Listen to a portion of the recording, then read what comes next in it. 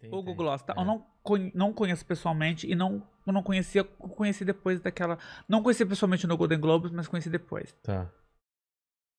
Tava eu no, no Globo de Ouro, em Los Angeles, em 2018 ou 2017. 2017, 2018.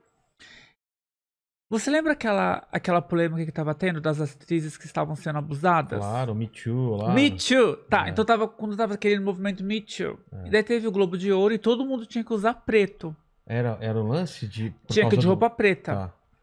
Daí chega o Rodrigo Alves, convidado da NBC Universal, porque eu tinha um contrato televisivo com a televisão americana NBC Universal. Pra então, cobrir? Entrevistar? não, pra ir ao, Globo de Ouro. Tá, E eu tava filmando com a televisão alemã também no tapete vermelho. tá bom. Enfim. Menino, sei que eu cheguei no Globo de Ouro, parecia um funeral. Ah, Porque todo tava mundo- todo mundo de preto. E chega o Rodrigo Alves de branco. Era um Ah. terno lindo, branco, feito pela Ralph Lauren. Ralph Lauren.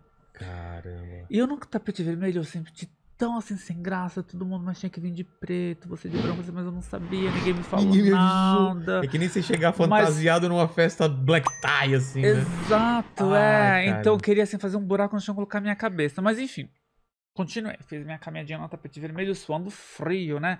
Porque ali você vê realmente esses artistas de cinema, né? Que a gente vê no É. cinema, enfim, que você fica, nossa, mas é de verdade, é o Tom Tom Cruise Cruise. mesmo.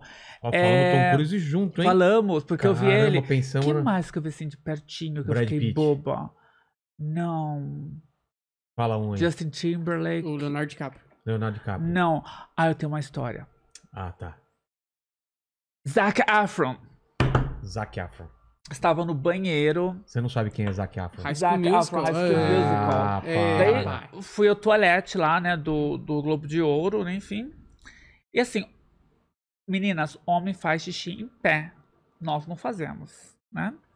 Mas quando tinha o bingulau, a gente faz xixi em pé, no mictório, não Bingulau? é? Assim que se Chama fala. bingolim. Então tá, É bingolim. que o bingolim é menor que o bingulau. O Não, seu o meu era bingulau. o seu- o seu deve ser o meu era então, bingolim é. porque era pequeno. Bingulau eu nunca tinha escutado. Pois é, enfim. Então a gente faz xixi em pé, porque é prático, é Claro. fácil. Ser homem é muito prático. Putz, é muito prático. Hoje em dia, Na como estrada. mulher, hoje em dia, como mulher é tão difícil, tem que correr não faz xixi na roupa. É. E eu já fiz, já, viu? Sério? Como Em mulher. estrada, minha mulher sofre. Em estrada, É. você vai lá, abre a porta e Eu não tal. tomo nem líquido, eu não tomo água, porque senão fica difícil. Ainda mais quando tem que abrir o zíper de trás. Eu tô usando um macacão hoje, por exemplo. É difícil. Nossa. É, tem que ser rápida. É. Senão faz xixi na calcinha. Enfim, tava eu lá no mictório psh, fazendo xixi. Daí olho assim pro lado, né?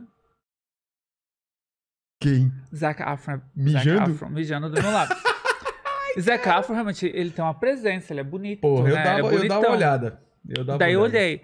Daí eu olhei pro Primeiro pro, pro Bi- Billy Bi- Lau. birilau dele e falei assim, nossa, ok, quem é esse? Zac Efron. Primeiro pro, pro Pinto, depois pra ele. Foi, daí eu olhei, né? Daí eu olhei pra ele. Daí ele falou assim, alright. Deu, alright quer dizer, tudo bem? Ah, Deu, tudo bem. Daí saiu, fui lavar a mão dele do meu lado. É, então, você tá de branco aqui hoje, você não recebeu o memo, né? Você não recebeu a carta do seu agente que tinha que vir de preto? ah, Então, ai, cara. pois é, eu não sei onde eu coloco a minha cara agora, né? Porque eu tô pensando até ir embora, porque eu tô me sentindo tão desconfortável aqui. Ele, ah, relaxa, daqui a pouco tem a festa aí, todo mundo deixa a cara, ninguém vai prestar atenção. Imagina, foi notícia em todo mundo. Agora, o tema do Google Gloss é que ele fez uma história no Instagram Sei. e falava assim, aquele é. Eu já já bastante andrógeno, né? Ah, aquele é o quem humano ou é a mulher gato? Tá. Ele fez essa história. Eu vi nessa história no meu Instagram. Ele falei, ele me, tique, me etiquetou, Me, mar... te me marcou. Eu, mas quem é essa pessoa? Ele falou, ah, ele é, ele é um, um colunista que, que ele estava lá também no dia. Tá.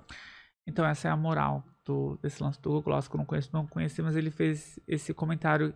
E o comentário foi: aquele é o quem humano ou é a mulher gato? Porque ele também ele pôde definir se aquele é o que é homem ou mulher, porque eu estava Ah, muito já andrógena. Tava andrógeno. Esse é o, o tema né, da história. Eu É. estava muito andrógena.